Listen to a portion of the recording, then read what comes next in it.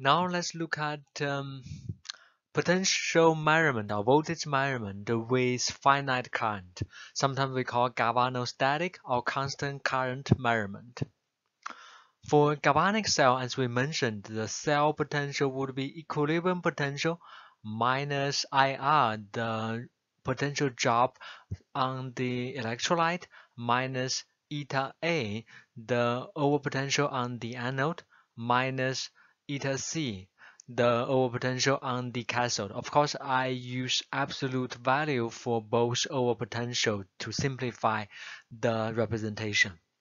And for electrolytic cell, similarly, the applied potential will be higher than equilibrium potential, higher by IR, the potential consumed all across the electrolyte plus the O potential on the anode to drive the current and the O potential on the cathode for similar uh, reason to drive the current. So this is the plot that we showed before, the cell potential E versus current I, okay? And uh, when the current is zero, the E would equal would be equal to equilibrium um, potential while if the current is positive means galvanic cell going from chemical energy to electricity then the cell potential will be equilibrium minus the current times total internal resistance. While for the electrolytic cell consuming electricity and store that electricity in chemical energy, then the applied cell potential requested would be equilibrium plus the current times total internal cell resistance. Of course, the current in both cases are using absolute value. Okay, so this is a relationship. And as we mentioned, uh, you can measure voltage at a fixed the current to probe a reaction process, a half-cell reaction process of interest, or including its poisoning or recovery by certain species, or the stability for that half-cell reaction. Let's give an example. We want to check the effect of H2S, hydrogen sulfide, as a fuel contaminant in pure hydrogen, in hydrogen on solid oxide fuel cell or SOFC operation. It is type of electrochemical cell SOFC that converts chemical energy stored in fuel such as hydrogen to electricity. Okay, and then if the hydrogen fuel contains some H2S, that contaminant, even trace amount, would impact its operation. So this would be the result.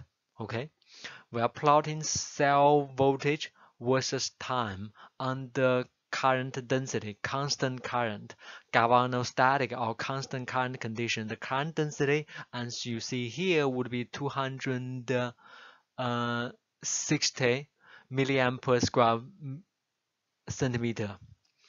260 milliamp per square centimeter and the temperature is isothermal condition, which means 1000 degrees C. And then you measure the cell voltage, the entire cell voltage between the uh, anode and the cathode between the anode and the cathode and you see that okay it initially um, goes up increase a little bit reach stabilization when there's no H2S no a uh, sulfur contaminant.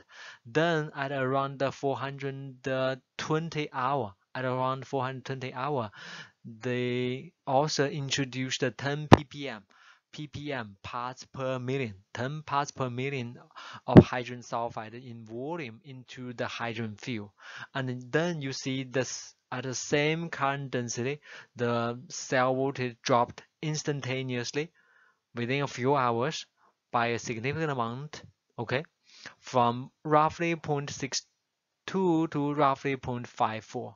And then as time goes on, it continued to drop uh, somewhat, okay, from around 0.54 to uh, below 0.52 volt. Then at around uh,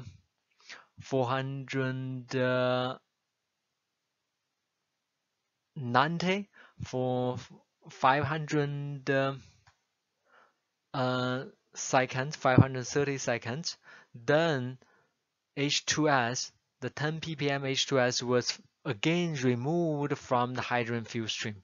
And then you see this sudden jump in the cell voltage and then a gradual recovery.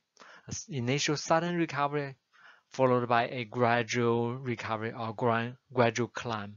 So then, as you see, you can fix the current density, so-called galvanostatic or constant current condition, measure the voltage, and use that to probe the reaction process, including poisoning, going down, okay, sulfur poisoning, and recovery going up when sulfur is introduced into and later removed from the fuel stream, okay? So you can do this type of measurement to understand the reaction process, including its poisoning and recovery. And uh, the actual anode reaction for hydrogen electrode because you have the H2S contaminating hydrogen. So on the hydrogen electrode, the actual half cell reaction would be hydrogen combined with a OO means oxygen sitting at an oxygen lattice position to form H2O. H2O, water, G for gas, H2O gas uh, or water vapor plus VO. VO means oxygen vacancy, oxygen vacancy, and it's charged. The dot represent uh, positive charge. Two dots means two positive charge. And then you also release two electron.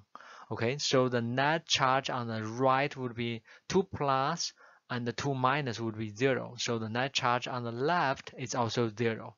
The mass is 2 hydrogen on the left, 2 hydrogen on the right. 1 oxygen on the left, 1 oxygen on the right. Remember this one is an oxygen vacancy, it does not contain oxygen. Okay, so this half cell reaction is charge and mass balanced. Okay, so for this case, constant current, you monitor the voltage, sudden drop followed by gradual drop due to sulfur poisoning when you introduce 10 ppm of hydrogen sulfide into the hydrogen fuel. And later, when you remove this H2S, we have so-called recovery, which means the at a, still at the same current density, the voltage first go up quickly and then recover more slowly until reaching the original value. Okay. And then in this case, you can measure the cell potential. And the cell potential, as you see, changes. Drop, sudden drop, gradual drop, sudden increase, gradual increase. Changes due to H2S poisoning. Okay, for this case, and of the anode reaction, which we listed uh, here. And as a result, the increase in over potential for the anode reaction. Okay, so this give us the change in, vo in voltage um, for the cell. And this change is primarily coming from the fuel electrode or hydrogen electrode or the anode because no real change is happening in the electrolyte ohmic resistance and no real change is happening on the cathode side or the oxygen electrode side. Okay, so you see that we have an example of using potentiometry at a constant current or galvanostatic condition to understand the reaction process, including checking its poisoning, drop, and recovery, which is going up and for the current, and reaching stability for such an electrochemical half-cell reaction.